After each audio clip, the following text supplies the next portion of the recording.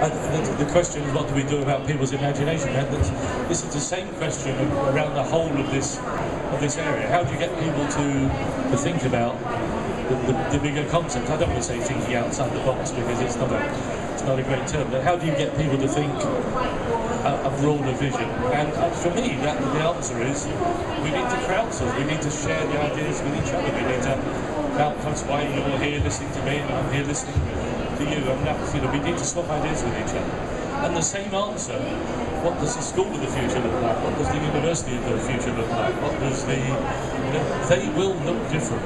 Look, here's a,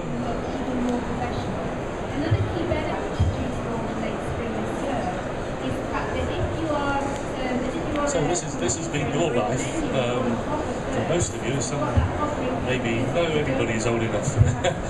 uh, you know, the hardware was the most important thing. The biggest company, IBM, ICL, huge companies. Then, once we got hardware, we needed software to run on the, on the hardware. Microsoft and Bill Gates clearly enormously wealthy. Once you had the software, you needed to be able to find your way around it. You needed databases. Larry Ellison, of course, the fourth richest man in the world, did the sail on his boat occasionally, so I'm grateful. um, but once you had the hardware with software on it and you could find things, you wanted to search. And, and here comes Google, or if you're you're under 15, here comes YouTube, because this is the search engine for youngsters, not, not Google. And once you could find things, you wanted to talk to other people about what you found. And, is Facebook. And haven't you noticed how Facebook is full of people saying, have a look at this, have a look at this, see what I'm doing, you know. But once you can do all that, you want to learn.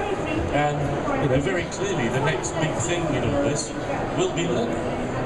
Um, but look at all these, you know, the hardware, you know, the little laptops that came out were not like the big mainframe computers. The software that appeared was not like, you know, each one of these produced something that solved the problem but was completely different to what went before. The next big thing will be learning, but it will be completely different to what went before. So, you know, the libraries will be different, the schools will be different, the universities will be different, cognitive processes will be the same. But this is going to be a really significant change, it really, really is. I mean, you can think,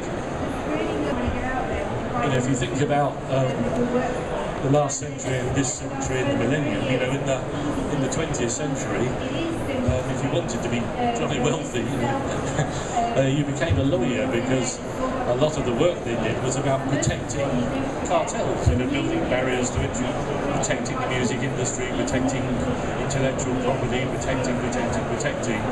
And they were very wealthy, very hated people, you know.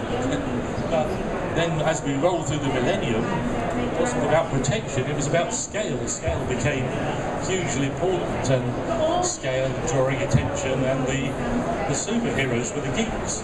You know, Biz Stone, Twitter and, golly gosh, Hollywood movie now made about social networking, you know.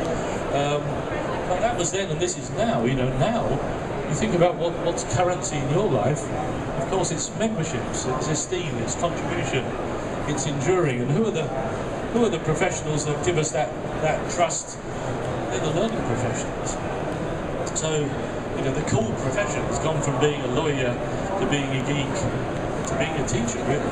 Um, and, and don't, don't mistake how profound that is. That's really important. Uh, you know, teachers are hugely valuable. The impact on teaching and learning will be very significant. Let's have another question.